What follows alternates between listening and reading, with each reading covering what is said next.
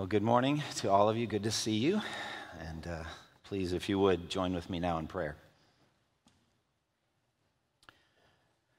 Father, we give you thanks for the river of blessings that we have received that flow to us from Calvary, that flow to us from the atoning work of Jesus Christ, who in Gethsemane was willing, courageously willing, to drink the cup that you gave him. It would not shrink back from full obedience. And just as through the disobedience of the one man the many were made sinners, so also through the obedience of the one the many are made righteous. And we are the many that are made righteous. And those of us that have walked for a long time as children of God, we are aware of how unrighteous we are even now, day after day, how much sin there is still in us, in our hearts and minds, and also in our lifestyles. And Lord, this is the most grievous thing there is to us in the Christian life indwelling sin that bubbles out in acts of defiance and rebellion from time to time. But Lord, we grieve over these things. We hunger and thirst for righteousness. We look forward to a day when we will be perfectly pure in heart and we will see God.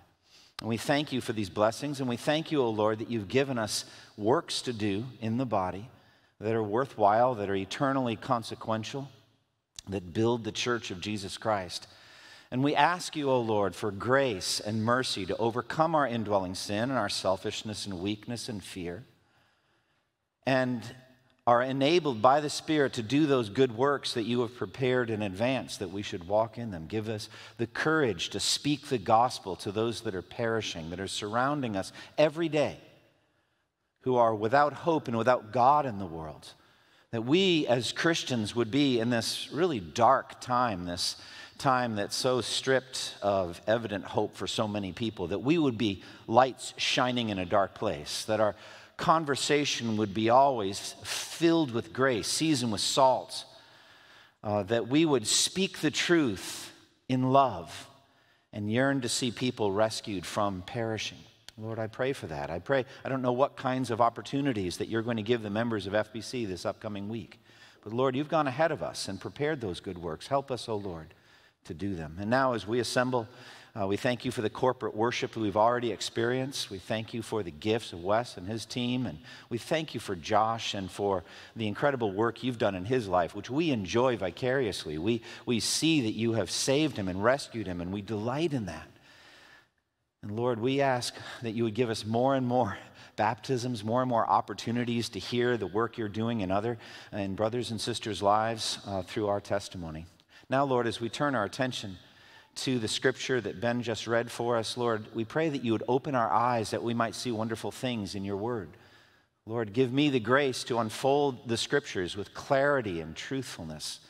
And give all of us, O oh Lord, the grace not to rebel or push back against the word of God, but to accept it as it really is, the word of God which is at work in us who believe. We pray in Jesus' name. Amen. I'd like to ask that you turn in your Bibles to 1 Corinthians chapter 14. We're finishing up uh, this morning, uh, chapter 14, and a three chapter journey through the doctrine of spiritual gifts. And as we do, we're looking at local church and local church's corporate worship.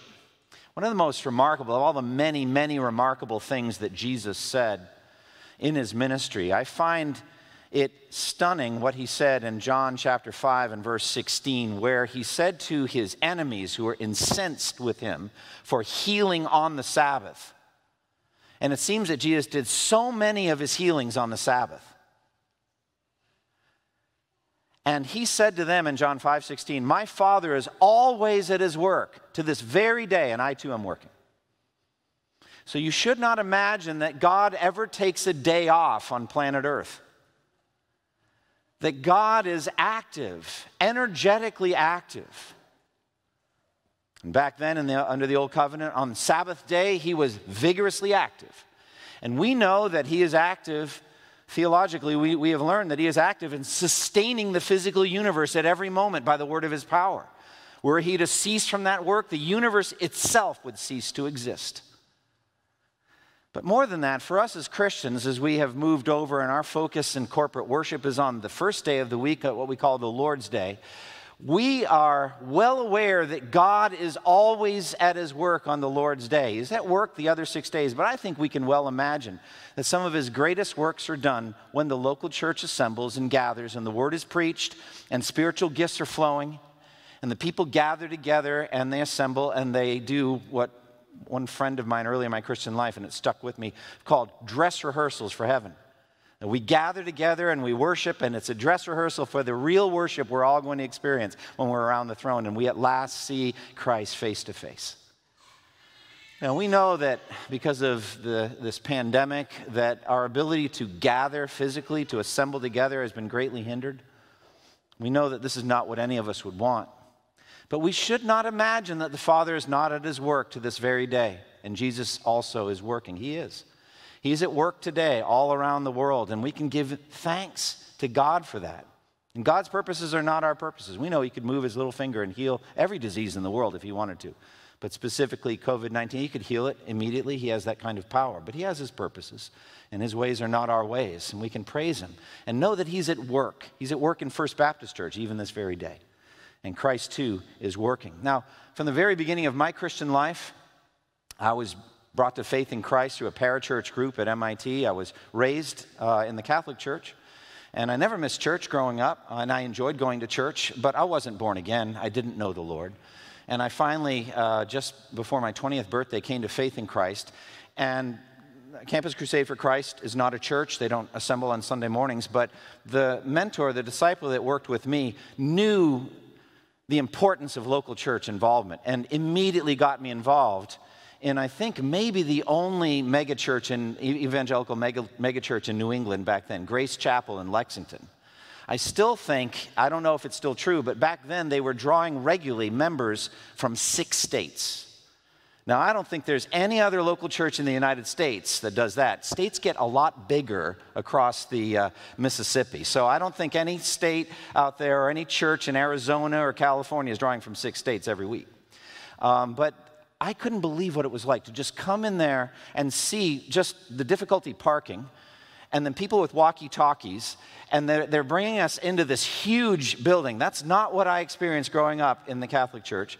And then I'm up in a balcony, a balcony, and I'm way in the back because that's the only seating there was, and, and we are singing, Great is Thy Faithfulness. Never heard that song in my life. But the sound of the people of God assembled, singing, just literally moved me to tears. That was my first worship service as a born again, as a believer. And since that time, the Lord has poured grace into my heart week after week by local church ministry. And as we come to the end of 1 Corinthians 14, we're coming to the end of three chapters in which the Apostle Paul is addressing the use of spiritual gifts in local church ministry. He's reaching the end of a section, and then we'll go on, God willing, to the next chapter in which he talks about the resurrection. He brings in a new topic. So we're talking about spiritual uh, gifts, and specifically, the focus here is corporate worship in the local church setting. When the local church gathers and assembles on the Lord's day for worship. And he's talking about the use of those spiritual gifts in the context of that assembly, in the context of the local church assembling to worship. Now, God's overall purpose, both for the assembling together of the church on Sundays and for the, the giving of spiritual gifts, is the edification or the upbuilding of the church. If you look at verse 12 in this chapter, 1 Corinthians 14 12, Paul says, So it is with you, since you are eager to have spiritual gifts, try to excel in gifts that build up or edify the church. Edification means the building up of the church. So, as we've seen many, many times before in Ephesians chapter 2, verse 21 and 22, there is this image of the church of Jesus Christ as a spiritual structure, a spiritual temple that's rising to become a spiritual edifice in which God dwells by his Spirit. That's the work of the worldwide church of Jesus Christ, and it is rising, it's a work in progress. It's not finished yet. And spiritual gifts are given for the upbuilding of this edifice, the spiritual structure, the Church of Jesus Christ. What are spiritual gifts? Spiritual gifts are special abilities that are divided up and ministered out to every individual Christian, spiritual gift package, uh, that are given by the triune God, Father, Son, and Spirit, to each individual Christian, special abilities for the purpose of finishing this building up of the body of Christ. And this happens when individual sinners are rescued from the dominion of darkness, rescued from Satan's dark kingdom, and are, are pulled out, and they are made to stay with the edifi- edification image or the building image, what Peter calls living stones, 1 Peter 2. They are rescued by believing the gospel of Jesus Christ. They are transferred from the kingdom of darkness to the kingdom of light. And so we are all, as believers in Christ, what Peter calls us living stones. And so we have been quarried out in the midst of spiritual warfare, in the midst of Satan's opposition, demonic opposition, we've been quarried out and placed into this, the walls of this rising spiritual temple. And the, the quarrying, we could say, is done. We've been rescued, but then there's a polishing and finishing work that continues in sanctification. Spiritual gifts are given for all of that for all of that. Now, another image of the church is of a living body, and we are all members of it. We get this in Ephesians 4 15 and 16. It says, Speaking the truth in love, we will in all things grow up into him who is the head, that is Christ. From him, the whole body, joined and held together by every supporting ligament, grows and builds itself up in love as each part does its work. So we all have, through spiritual gifts, a role to play in the building up of the body of Christ or the rising of this spiritual structure. So the church is developing to full maturity. It's not finished yet. The work is on schedule and on time, and it's not going to cost any more. There's no cost overruns. We're not missing any deadlines. Isn't that marvelous? I mean, any of you that know anything about big building project, you know how rare that is. I'm telling you, it's right on schedule. It may not seem like it is, but God knows what He's doing. And He's building this building. And all of the ministries of the church are given to this final perfection of the body of Christ or the church of Christ. We are a work in progress. So, all the spiritual gifts exist for edification, the development of the church to full maturity, uh, different images, to final perfection. So each of us, we've said this before, we need to realize our salvation is not yet complete, and the work of the church of Jesus Christ is not yet complete. We ourselves are not totally, perfectly conformed to Christ in every respect as we will be in heaven when we're in resurrection bodies and we are finally conformed to Christ in all respects. This is the very thing that God predestined before the foundation of the world should happen. As he said in Romans 8 29 and 30, those God foreknew, he predestined to be conformed to the likeness of his Son, that he might be the firstborn among many brothers. And those he predestined, he also called. And those he called, he also justified. And those he justified, he also glorified. So for me in that scripture, glorification equals total conformity to the likeness of Christ. And that's going to happen for the elect from every tribe, language, people, and nation all over the world. That's what's going on. That's what spiritual gifts are for. Now, as we're in chapter 14, Paul has zeroed in or zeroing in on two spiritual gifts in particular tongues and prophecy. And he's making the point here the overall point of chapter 14 is not so much about tongues and prophecy, but the, the absolute requirement for clarity in the ministry of the word, a simple delivery system of the word of God, clarity in the word, and orderliness. These two attributes of local church worship are essential, and he's arguing for both of them. Now, he's zeroing in on tongues and prophecy because it seems they were the two showiest, most upfront gifts back then. They were of great, in great demand. Everyone desired uh, that, that upfront kind of leader like gift. And they were seeing it also, it seems, through pagan eyes. Uh, because they were zeroing on these gifts, they tended to denigrate the other gifts, which Paul goes through and describes in 1 Corinthians 12 and in other passages. And so it's like if you had those gifts, you were a second class citizen. What you really wanted was tongues and prophecy. He's got to level that and say, no, no, no. The gifts that you have are given by the will of God, by the power of the Holy Spirit, and they are essential. Every one of the gift packages is essential to the church. Uh, beyond that, he's got to say that these gifts, the specific gifts of tongues and prophecy, were not meant to be operated on or used in the pagan way that priests and priestesses used to operate in the temple, where a kind of divine, so to speak, supernatural frenzy would come on these people. They would lose their minds, and they would be almost like crazy people having been touched by the supernatural, by the gods or goddesses. Uh, that's how the pagan priests and priestesses used to do it. That is not what's happening with godly Christian worship. And so he's going to say there's no mindless frenzy here, there's no disorder, there's no chaos. But there has to be clarity in the word and orderliness in the use of these gifts. That's what he's arguing for. He wants truth spoken clearly. The unfolding of the word of God is what builds up the church.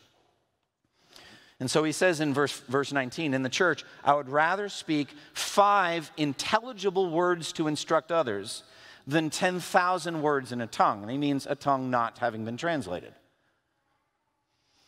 So, again, this shows how absolutely vital the mind is in our salvation. God uses reasonable words, reasonable concepts to transform our minds and to transform our hearts. So, out of transformed minds and hearts flow transformed lives in the body. The word, then taught and preached clearly, is understood by the minds of the hearers. The heart believes and loves that truth, and the body follows the transformed mind and heart. This is salvation, this is justification, this is sanctification. So there must be clarity. We've already covered that in the earlier messages on tongues. But here he's also underscoring orderliness. Orderliness in the use of the gift of tongues, we've already covered that. Uh, he does not want chaos or disorder or confusion. So, by way of review with tongues, he gave three clear commands. Two or at most three should speak in, in tongues, one at a time. Secondly, the tongues must always be interpreted if they're going to be part of corporate worship. And third, if there is no interpreter, uh, the tongues should not be part of public worship. That's, those are the rules that he gave, and we gave, uh, talked about that several weeks ago. Now, secondly, we're going to see God's will for prophets. God's will for prophets. So let's talk about prophecy, and let me give you again uh, some understanding of what this gift is or what prophecy is. In the Old Testament, prophecy was the direct communication of words from God to his people through a human being. So a key phrase would be, Thus says the Lord. You can almost picture, picture like colon and then quotation mark. And then off comes a set of words that have been put into the mind of the prophet for delivery to the people of God. That's prophecy. Thus says the Lord. So Moses said this, Deuteronomy 18 18. I will raise up for them a prophet like you. So this is God speaking to Moses. I will raise up for them a prophet like you from among their brothers. I will put my words in his mouth, and he will tell them everything I command him. That's prophecy. I will put my words in his mouth. Again, Jeremiah 1 9, same thing. Then the Lord reached out his hand and touched my mouth and said to me, Now I have put my words in your mouth. So that's Old Testament prophecy. Now, all of Scripture is prophecy in written form. Prophecy in written form. Peter tells us that. 2 Peter 1 20 and 21 says, Above all, you must understand that no prophecy of Scripture ever came about by the prophet's own interpretation. For prophecy never had its origin in the will of man, but men spoke from God as they were carried along by the Holy Spirit. That's a perfect description of prophecy. It's human, men spoke from God, the origin of the words were from God, and they were carried along by the Holy Spirit, therefore protected perfectly from error. That's what prophecy is. So, scripture is written prophecy. Now, Old Testament prophets were validated in their office, they were identified to the people of God by the ability to predict the future. Now, understand, it's not true that all prophecy was a prediction of the future. That's not true. As a matter of fact, most of them weren't. However, the ability to predict the future is the crown jewel of prophecy.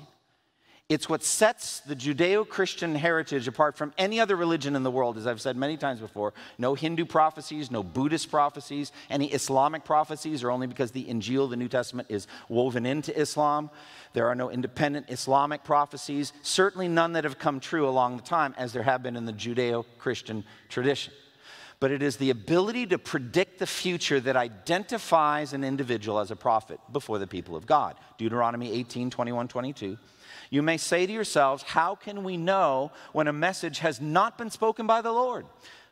If what a prophet proclaims in the name of the Lord does not take place or come true, that is a message the Lord, message the Lord has not spoken. That prophet has spoken presumptuously.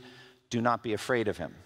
So, the clear message there is if you want to be identified as a prophet before the people of God, you have to predict the future.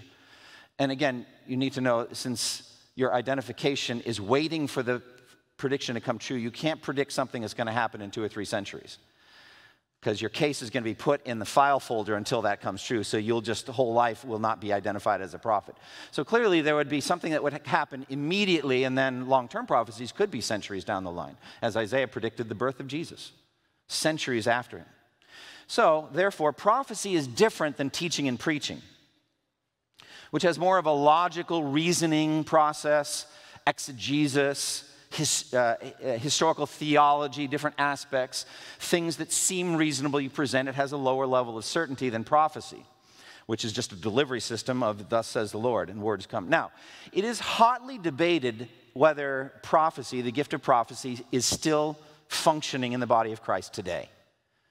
Many evangelicals disagree about this. They go back and forth over this, or they redefine New Testament prophecy and make it essentially different than, or not essentially, but significantly different than what I've been describing so far Old Testament prophecy.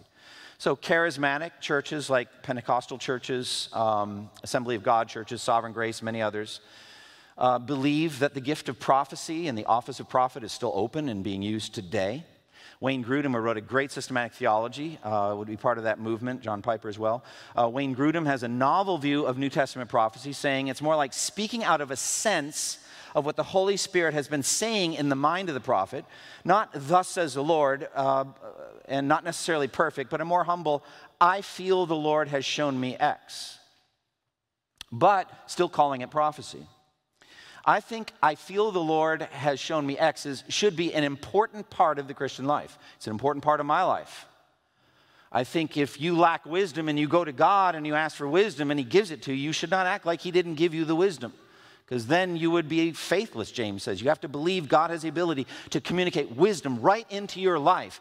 But then you should say, I felt the Lord leading me to do X. Because we don't always hear God right. But I understand that. Should it be called prophecy? Debatable. If when we get to heaven, the Lord says, by the way, Andy, that was prophecy, I'll say, along with all the other repenting I'll be doing on Judgment Day, I'll repent from that as well. In the meantime, though, I think it's actually reasonable. It's reasonable to ask for the validation of the office in the New Testament as it was validated in the Old Testament, namely the fulfillment of predictions. Now, some of the churches that believe the office of, of prophet and the gift of prophecy is still functioning, what they'll do on a Sunday morning is they'll have an open mic and they will invite people with a prophecy from the Lord to come. They will have a leader of the church there at the microphone to filter the individuals that come forward. They'll listen to what's said and they will then permit it or not. So that goes on. Now, I've personally never seen this done, but I've heard about it from friends uh, who believe in this and uh, they have it functioning uh, in the healthiest of all uh, churches, frankly, in my opinion, it just sounds like biblical exhortation 90% of it. So people come up and individuals will come and just say, I, the Lord is saying to First Baptist Church that we need to love one another, forgive whatever grievances we may have against one another, and we need to be faithful in evangelism. Well, look, all of those things are in the New Testament. I do this kind of biblical exhortation every time I preach. I'm not going to call it prophecy, but I may be wrong in that. I don't know. All I'm saying is that is an important part of the church life. I'm just not calling it uh, prophecy. I believe there is no good reason to excuse modern day prophets from the requirement uh, to predict the future in order to get the office or the gift title assigned. The, the role, I don't mind. Biblical exhortation, do it, friends. Brothers and sisters, do it with one another. Teach and admonish one another with all wisdom. Let the word of God roll in the life of the church. Let's do it. But to call it prophecy or, or, or that person a prophet, I don't think uh, that there's any reason that we should excuse that from predicting the future, especially since it happened in the New Testament. There was a man named Agabus who, in Acts 11 28 and 29, it says, one of them named Agabus stood up and through the Spirit predicted that a severe famine would spread over the entire Roman world. Parentheses, this happened during the reign of Claudius. Fulfillment. Prediction, fulfillment, you're a prophet. Agabus, I think, had already done other such predictions, so they knew he was a prophet. So we should not think, oh, that wasn't happening anymore. It is. It was, at least in the book of Acts, if the gift is still going on. Now, what happened was the disciples, each according to his ability, set aside food, like in the days of Joseph. So, wouldn't that be good? There's going to be a market downturn. You want to get out of this or that commodity or whatever. You'd be like, oh, wow, but I don't think the Lord's going to do that. Maybe he will, I don't know. But imagine a famine or something like that, or even an illness say you don't want to go to that part of the world, et cetera. I could imagine something like that happening, and then people making practical provisions based on that prediction, et cetera. Now, with the giving of the prophetic word back then in Corinth, there needed to be the weighing of the prophetic word. It had to be evaluated. This is very important.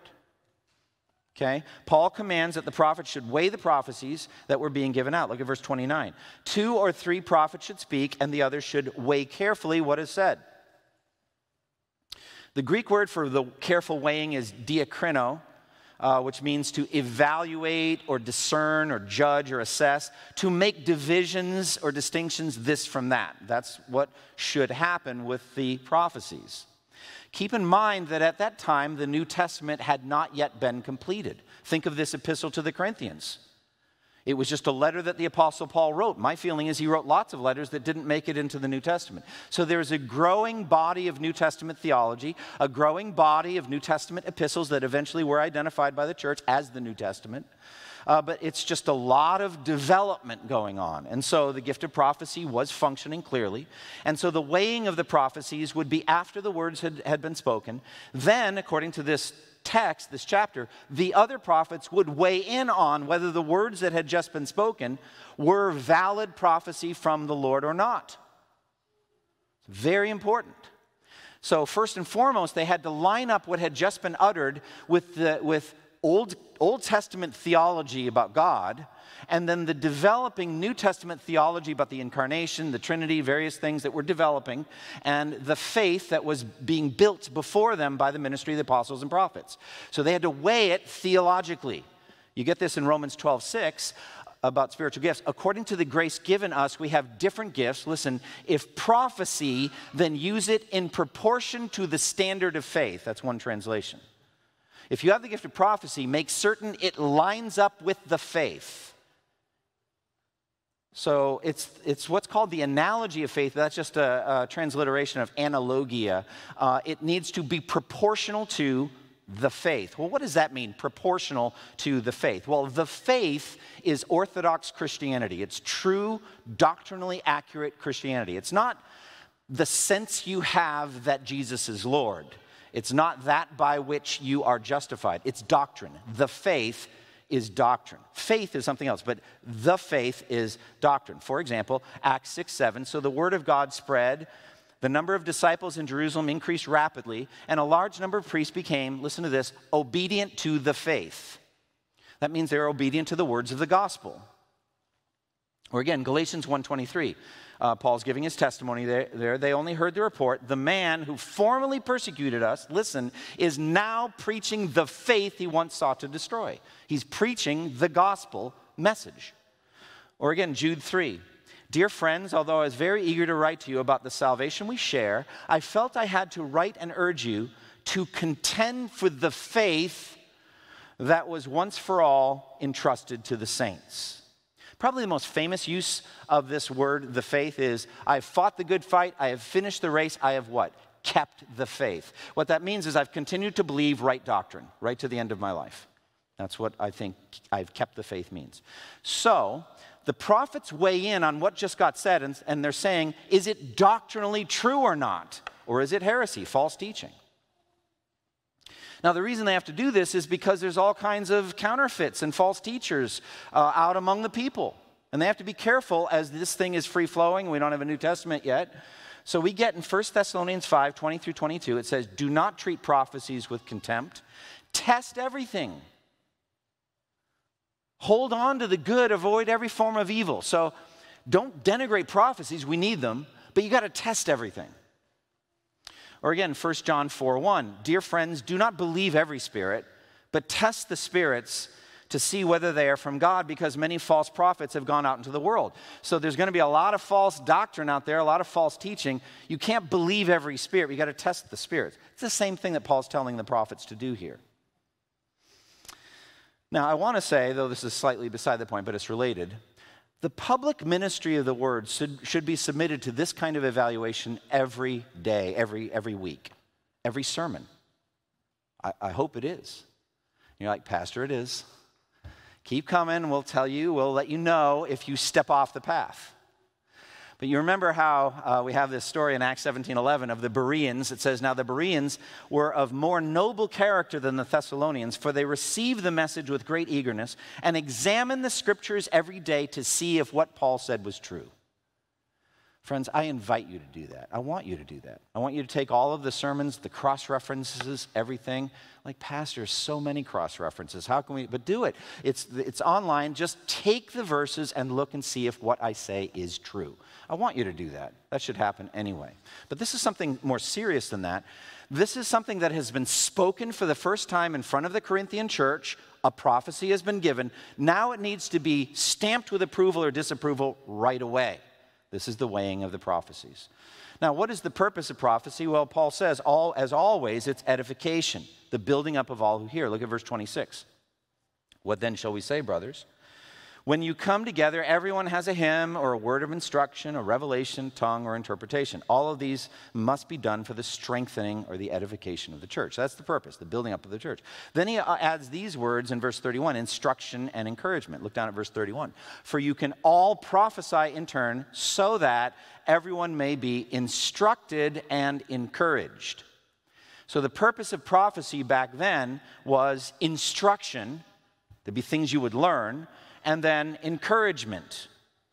Uh, the prophecies were a great source, of comfort to a persecuted church. And so, instruction and consolation or encouragement.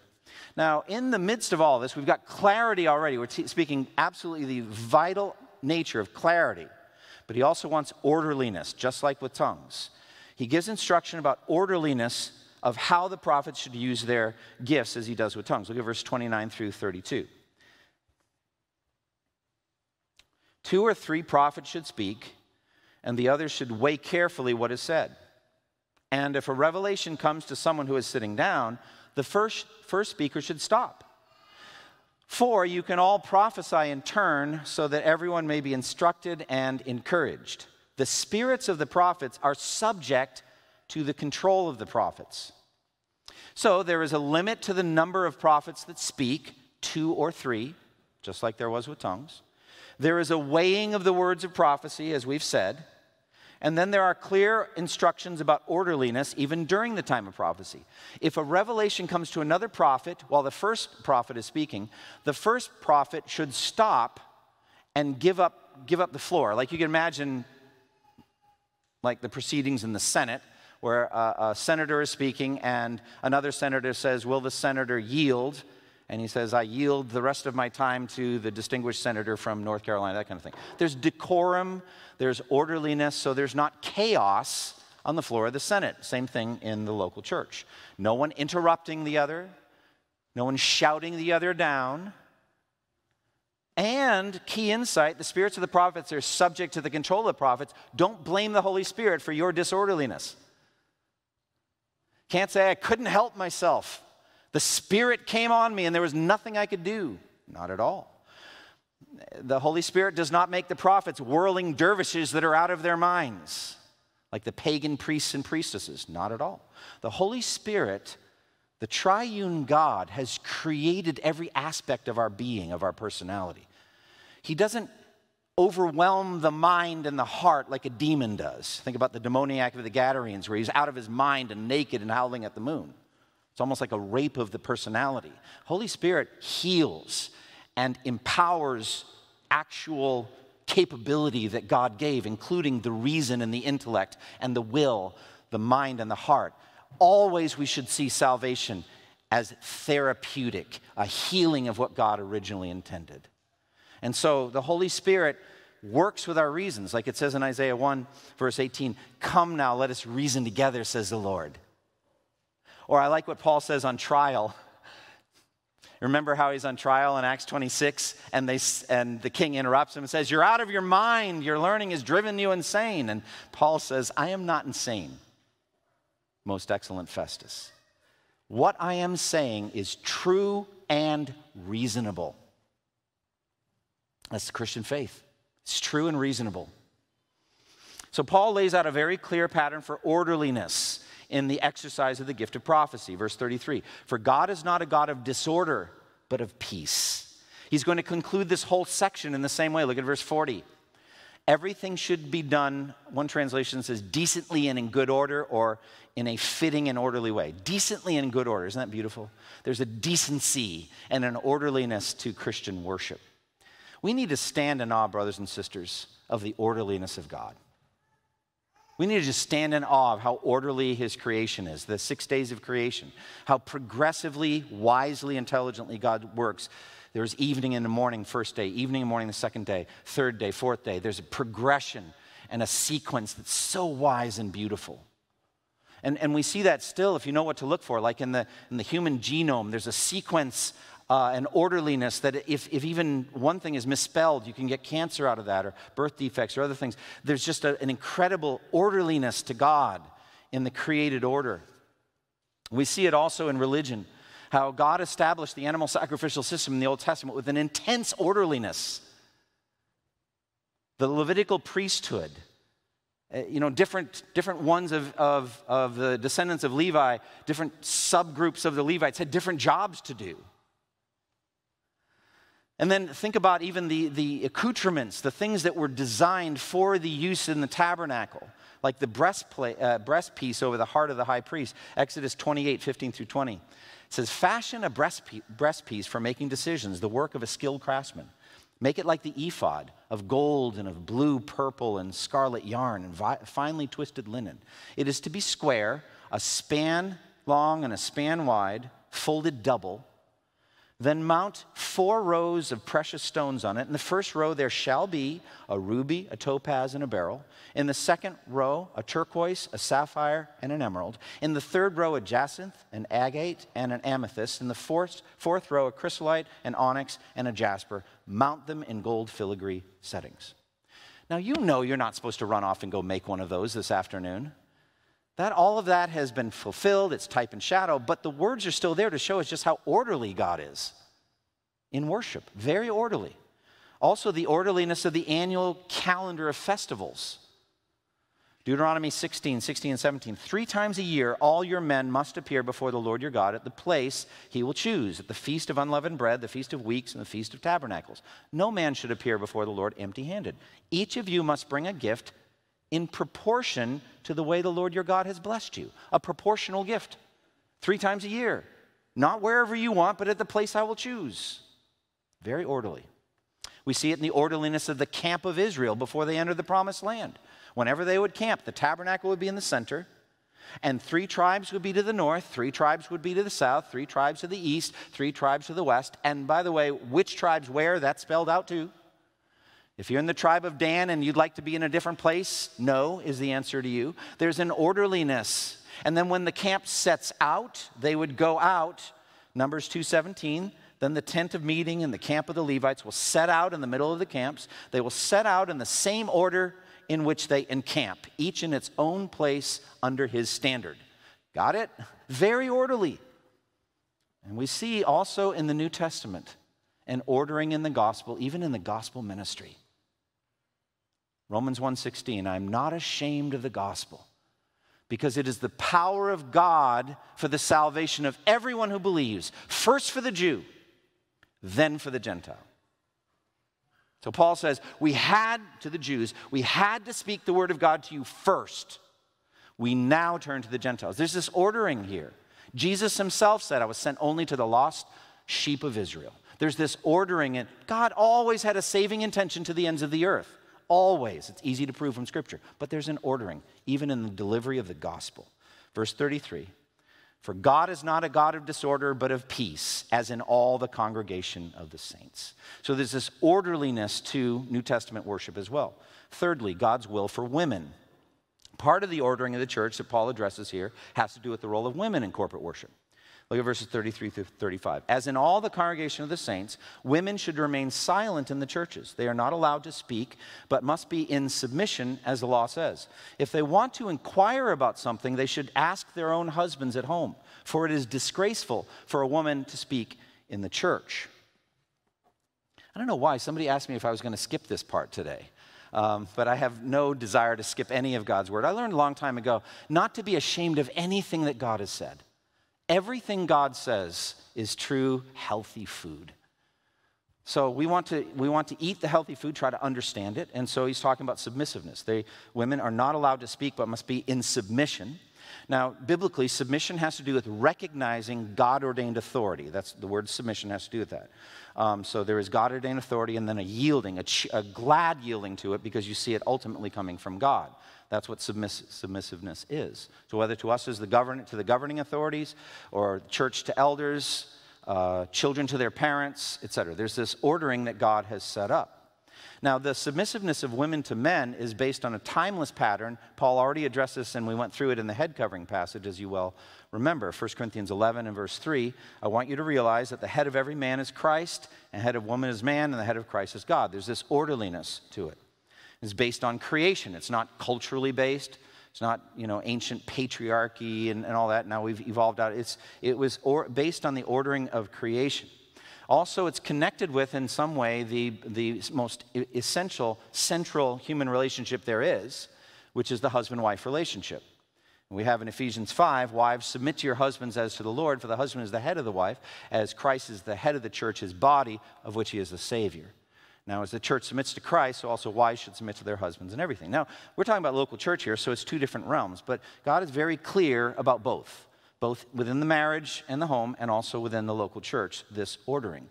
Now, what is the nature of this silence? What, what, what is the silence we're talking about? Well, I don't have to, to tell you that there's a lot of controversy about that. What is the nature and the extent of the silence? Now, there is a basic quietness of heart that all women and indeed all men should have when hearing the Word of God. A quietness and a yieldedness that comes to the Word of God. As Paul says uh, concerning women in 1 Timothy 2.11, a woman should learn in quietness and full submission. There's a, a, a sweet submissiveness to the Word of God and to God in the Word. But does this mean that a woman should never say a word on Sunday morning, should never speak in church or in, as part of a, a, Sunday morning worship service. Uh, many have pointed back to the very passage I just mentioned, the head covering passage, 1 Corinthians 11, saying a woman who prays or prophesies with her head uncovered dishonors her head, etc. But all, they say all of that implies that women were praying and prophesying in the corporate worship service, and that may well be. Even that's debated. There's no part of this that's not debated, friends. But there, there seem to be indications that women were using that gift, praying and prophesying, uh, in corporate worship, etc. Now, in 1 Timothy 2, I think we can at least set the boundaries here. Paul spoke very clearly about gender and authority in the local church in 1 Timothy, 1 Timothy 2. In verse 12 and 13, he says, I do not permit a woman to teach or have authority over a man, she must be silent. For Adam was formed first, then Eve. So at least we know, in a timeless fashion, that there's a boundary line set in a healthy evangelical church concerning women that they should not teach men and that they should not have authority over men. That, I think, is clear. And again, it's tied to creation. It's not tied to anything culturally in Ephesus or anything like that in 1 Timothy. That's not what's going on. For Adam was formed first, there was an ordering in creation. And part of the reason for that was to establish Adam's leadership over the whole world, really. All of us has descended from Adam, but even within the marriage. So Adam was formed first. So these two things, I think, are clearly forbidden in a healthy church women teaching men and women having authority over men. Some people melt them together as though they're, they're the same thing, but they're two different infinitives in the, in the prohibition. To teach, I do not permit, neither to have authority. So they're two different things. They're separated from each other in the Greek sentence. So they're two different things forbidden. Teaching men, women teaching men, and women having authority. It does not mean that women cannot teach other women or children. It doesn't mean that women cannot communicate insights that they've gained from the word in an informal way. But teaching, and now there's been a lot of controversy of this recently. I, I just think 2020 is like the year of controversy within the evangelical church. And I won't say names, but any of you follow events, you know that there have been women that have preached on Sunday mornings, and they do so within the structure of complementarianism, so they believe. Complementarianism, the belief in gender based roles, different roles in the church, being a beautiful thing. But they say that women can teach and preach even on a Sunday morning as long as they're doing it under the auspices of the elders. So there's a lot of uh, debate and discussion about this. But I think there's a clear, timeless prohibition uh, in reference to that function. Um, so, whatever the speaking or not speaking, the silent in the church is women should not teach or have authority over men in public worship. Beyond that, uh, there's debate or discussion, but I, I think freedom. So the command for the silent in the church is clearly should harmonize with 1 Timothy 2:12. But in this context, I don't even think that's what Paul is talking about. In this context, the silence I think has to do with the evaluation of the prophecies. Remember I've talked about that at length. The prophecy happens, then the other prophets should weigh and evaluate diakrino, they should judge the prophecy and decide whether it's orthodox, whether the church should submit to it and obey it, etc. That function, I think at least, Paul's saying, should be men and not women. And if the women have some questions about it, they can ask their husbands at home. It's not time for debate or discussion. There needs to be this orderliness. I think at least that's the prohibition, namely the evaluation of the prophecy in context. Now, Paul says they're not allowed to speak but must be in submission as the law says. What does that mean? I don't know. The law, I think, refers to the Old Testament scripture, so it could be the general pattern of male leadership as seen in the Old Testament. I don't think there's a specific command that Paul has in mind, although that it may be. Now, what does he mean by disgraceful? This is a very strong word, isn't it? Uh, very strong word. Um, but I think we should hear it as breaking decorum. A number of years ago, I've been involved in dozens and dozens of weddings. Um, I usually, I, am involved as, as an officiant. I do um, do the service, usually stand right, right down there, and uh, then come up here, and then we do the vows. And, and it's a beautiful part of my ministry. I love doing it. But one of the weddings, I was not the officiant, I was just known to the couple, and they asked if I would be willing to read scripture at their wedding. And I said I'd be delighted. And so I went to the rehearsal. Uh, they'd told me the scripture ahead of time. I practiced it, got it, got it ready. And then the uh, couple and the uh, wedding director told me where I was to sit, right over there. Um, and then when I was to get up at the wedding and read the scripture. So when my cue came during the wedding, guess what I did? I got up and read the scripture. Guess what else I did? Nothing. I didn't say, y'all, I love this couple. This couple means so much to me. And by the way, I am the pastor of this. I'm usually here. I, I usually do weddings. I'm not doing this one, but I just want to share. There's just something I want to say. Look, friends, that would be, can I use the word, disgraceful. I can tell you at least the wedding coordinator would be shocked. I don't know if I'd get talked to at the reception afterwards, but that would be breaking decorum. There's a beautiful orderliness to the wedding. It's all been planned out. Don't break decorum because it would be disgraceful to get up out of the role assigned to me and do something else. I think that's the way I understand that. I hope that helps. Now, listen, there's nothing new under the sun. People had problems with women's roles back then. That's why Paul had to write these words. People have problems with women's roles now. When, when I did head coverings, I talked about the emergence of feminism in the 20th century and how it's affected uh, the church. I don't want to go back over that, except to say I think the fundamental flaw is based or connected to the American meritocracy, which says you are what you do and what you can achieve, what you can put on a resume. That is a fundamental flaw. You are valuable because you're human. And you're valuable because you're redeemed by the blood of Christ. And you're valuable below that because you've been given spiritual gifts, men and women alike given gifts. And you have a valuable, important role to play. Men and women alike are indispensable to the healthy life of the church. So we need to fight all of that sense of being insulted or offended or whatever and say, God loves men as men, and He loves women as women, and He delights in that orderliness that He's set up. We should see it that way too. Now, what is God's will for these instructions? Well, Paul challenges them to obey, verses 36 through 38. Did the word of God originate with you? Or are you the only people it has reached? If anybody thinks he is a prophet or spiritually gifted, let him acknowledge that what I am writing to you is the Lord's command. If he ignores this, he himself will be ignored. He is humbling the Corinthians here. Did you originate the gospel? Did it, did it not come to you? You need to get with the program that came to you. You're not in charge. He's humbling them. And this word, this command, is not Paul's ultimately, it's the Lord Jesus's. The Lord usually is Jesus. So if you are actually spiritually minded, you need to acknowledge that what he's written in this chapter is coming from the Lord Jesus Christ, not from Paul. I remember when we went through the gender and authority controversy early in my ministry here a long, long time ago. I remember hearing one person say very plainly, I don't care what Paul said, I know what I believe. You also sometimes hear people pitting Paul against Jesus.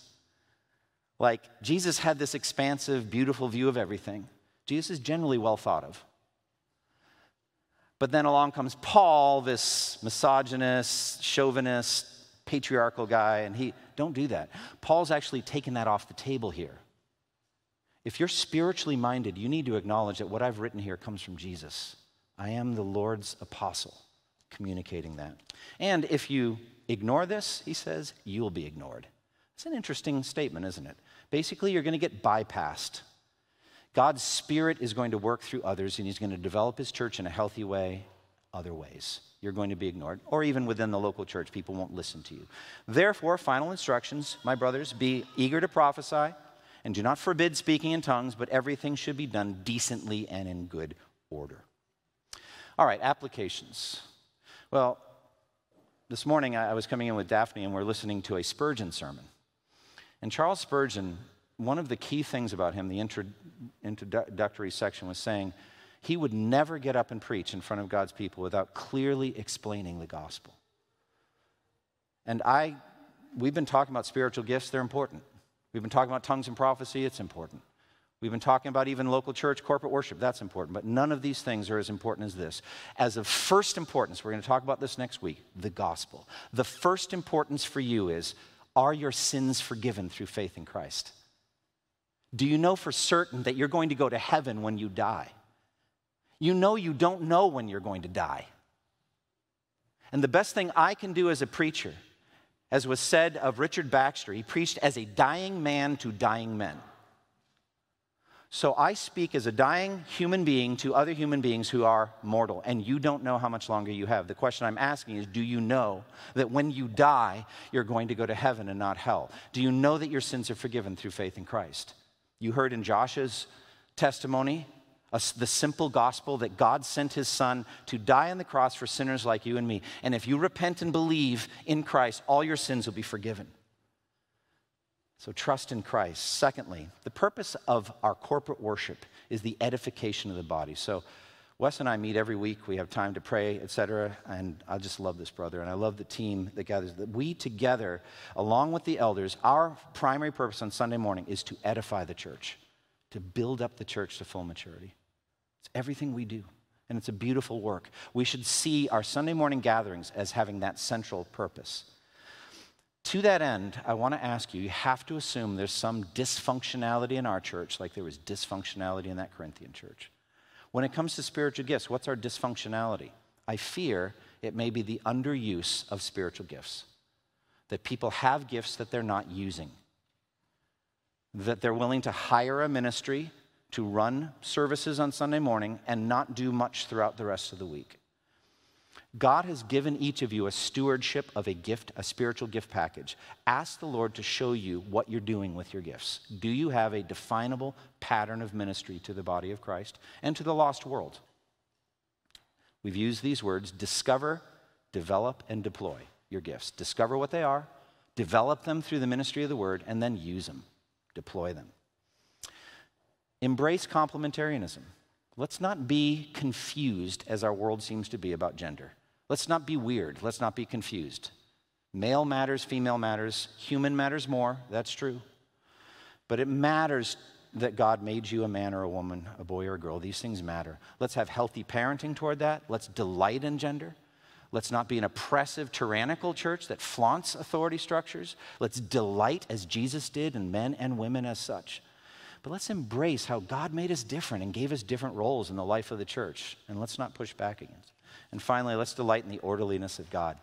When we get to heaven, you're going to see so much order up there beauty, but concentric circles all around the throne, and different ones honored higher than others, archangels and angels, and all of this order. And people sitting at Jesus' right and left in places assigned to them by God. And none of us will be jealous about that or want to topple it or want a free flowing kind of anarchy. That's not where we're going. We're going to a, a world of beautiful orderliness in heaven. Look forward to that. Close with me if you would in prayer. Father, thank you for the study that we've had, three chapters in spiritual gifts 1 Corinthians 12, 13, and 14. Thank you for what we've learned. And now, Lord, as we have closed this section and go on into the new section on the resurrection, help us to not forget the lessons we've learned. Help us to be active with our spiritual gifts, using them for your glory. And we pray in Jesus' name. Amen. Thank you for listening to this resource from twojourneys.org. Feel free to use and share this content to spread the knowledge of God and build His kingdom. Only we ask that you do so for non commercial purposes and in accordance with the copyright policy found at twojourneys.org. Two Journeys exists to help Christians make progress in the two journeys of the Christian life the internal journey of sanctification and the external journey of gospel advancement. We do this by exporting biblical teaching for the good of Christ's church and for the glory of God.